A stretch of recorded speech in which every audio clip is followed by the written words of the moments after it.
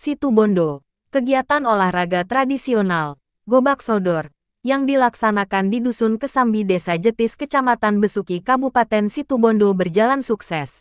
Hal ini hasil pantauan tim media teropong Indonesia News yang langsung terjun ke lapangan dan melihat langsung pelaksanaan kegiatan olahraga yang benar-benar diminati oleh warga sekitar serta di luar desa Jetis.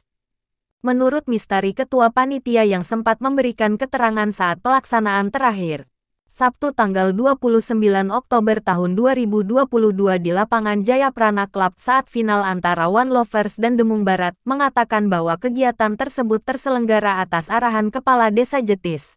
Fatlan dan diikuti oleh 128 klub Gobak Sodor sejak satu bulan lalu sampai terakhir saat ini dalam penentuan juara satu dan juara dua yang kemudian diperoleh hasilnya yaitu juara satu One Lovers dari Desa Jetis dan juara dua dari Demung Barat.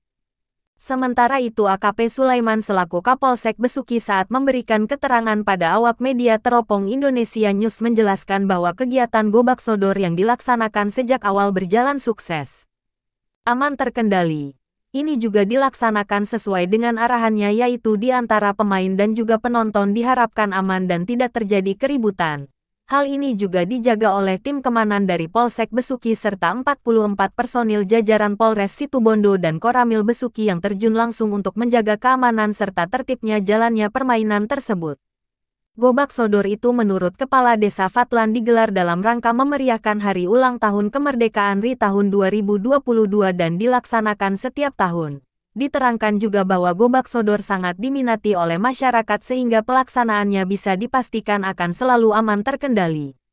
Sampai berita ini ditulis, kegiatan Gobak Sodor yang telah dilaksanakan dengan baik akan lebih ditingkatkan lagi oleh Desa Jetis bersama panitia pertandingan pada tahun-tahun berikutnya. Hal ini sebagai bentuk ya, pelestarian betul. olahraga betul. tradisional yang sangat dinanti-nanti oleh masyarakat Desa Jetis khususnya serta desa, desa yang lainnya sekabupaten Situbondo. Uh, ini Demikian berita yang kami sampaikan untuk Anda. Terima kasih. Itu biasanya kita kan mengadakan lomba-lomba. Di antaranya itu ya lomba sodo, lomba gerak jalan, lomba apa itu di desa kami biasanya setiap tahun mengadakan, Pak gitu. Dan ini yang hmm. beberapa kalinya untuk pada saatnya dengan jadi petinggi. Kalau semenjak saya menjadi petinggi ini pertama yang jadi pertama ini satu kali. Setelah itu lingser saya tidak ada lagi. Terus sekarang saya menjabat lagi ada lagi ini gitu. Berapa kali jadi petinggi Pak? Saya dua kali. Ya. Terus harapannya dengan? Harapan saya karena ini olahraga satu-satunya di masyarakat kami, jadi kita wajib hukumnya untuk melestarikan olahraga yang hampir punah ini gitu. Iya. Warga berapa Pak Warganya kalau jumlah warganya 800 ah 8128. Ya, ya. Hak pilihnya 6500 lebih di sini. Desanya dengan terkait masalah olahraga ini bagaimana?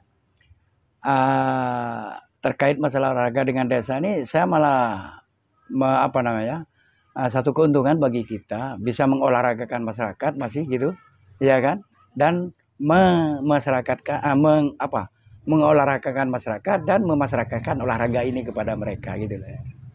Iya. Iya.